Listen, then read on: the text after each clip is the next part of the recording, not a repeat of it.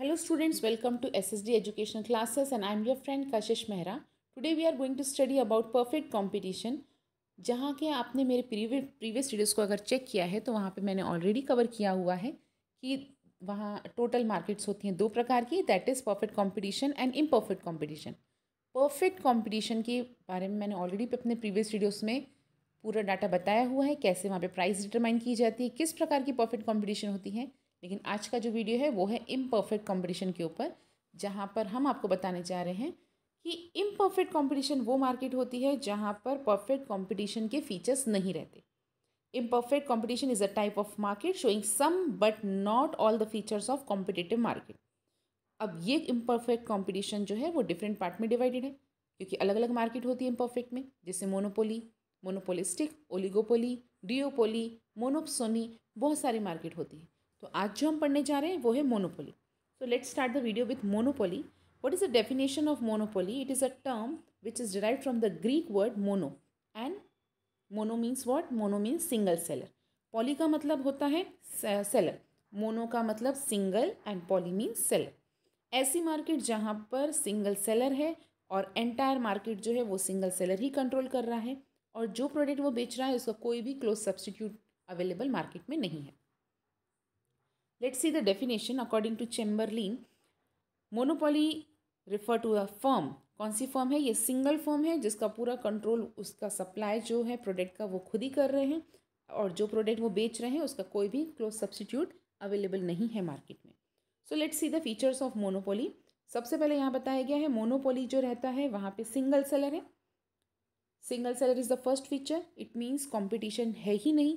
यहाँ पे जो सेलर है, जो प्रोड्यूसर है प्रोडक्ट का वो सिर्फ़ सिंगल है, लेकिन बायर बहुत सारे हैं large numbers of buyers are there और जो प्रोडक्ट वो बेच रहे हैं, वहाँ पे कोई कोई भी क्लोज सब्सटीट्यूट अवेलेबल नहीं है। इट मीन्स बायर के पास कोई ऑप्शन नहीं है, उसको वही प्रोडक्ट परचेज करना पड़ता है जो मोनोपोली मार्केट वाला सेलर वहाँ बेच रहा होता है।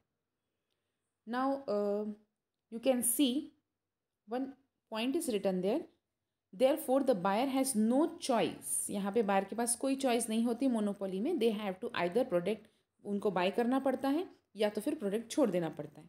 The cross elasticity of demand for this product is either zero और नेगेटिव यहाँ पॉजिटिव की तरफ़ नहीं होता है. इलास्टिसिटी ऑफ़ डिमांड यहाँ पे, क्योंकि वो क्लोज सब्सिट्यूट अवेलेबल नहीं है, इसलिए या तो ज़ीरो होगी या तो नेगेटिव होगी. Now third point speaks about barriers to entry क्या मोनोपोली में कोई भी पर्सन कभी भी बिज़नेस में आ सकता है या कभी बिज़नेस छोड़ के जा सकता है? नहीं, क्योंकि यहाँ पे बैरियर्स होते हैं, क्योंकि यहाँ पे गवर्नमेंट रिस्ट्रिक्शंस होते हैं, कभी नेचुरल बैरियर होता है, कभी टेक्नोलॉजी का बैरियर होता है, या कई बार बिज़नेस में एंट्री ही नहीं रहती है, क्योंकि गवर्नमेंट उसके ऊपर कोई ना कोई लीगल बैरियर लगा लेती है। तो इसलिए यहाँ पे फ्री एंट्री फ्री एग्जिट नहीं है। Where is next point says that complete control over the market supply क्योंकि मोनोपोलिस्ट या मोनोपोली में काम करने वाले जो लोग रहते हैं, वो सिंगल सेलर रहते हैं so they are having whole control in the market next point says that it is a price maker now price maker means क्योंकि मोनोपोली अपनी मर्ज़ी के हिसाब से काम करते हैं, वहाँ पे कोई भी क्लोज सब्सिट्यूट अवेलेबल नहीं है तो अपने हिसाब से पूरी मार्केट को कंट्रोल करते हैं और प्राइस भी वही बनाते हैं, इसलिए हम बोल सकते हैं monopolist is a price maker जो प्राइस तय करता है कि उसे मार्केट में बेचना है। यहाँ पर एक इंपॉर्टेंट कंसेप्ट है जिसका नाम है प्राइस डिस्क्रिमिनेशन क्योंकि मोनोपोली एक सिंगल सेलर है, वो खुद प्राइस तय कर रहा है, इसलिए वो कभी भी किसी भी पर्सन से कितने भी प्राइजेस वसूल सकता है। It means different prices for the same product एक कस्टमर को कभी किसी प्राइस पे बेचता है तो दूसरे कस्टमर को किसी और प्राइस पे बेचता है। अब वो हो सकता है वो प्राइस डिस्क्रिमिनेशन करे on the basis of time on the basis of place या किसी भी बेसिस पे वो डिस्क्रिमिनेशन कर सकता है।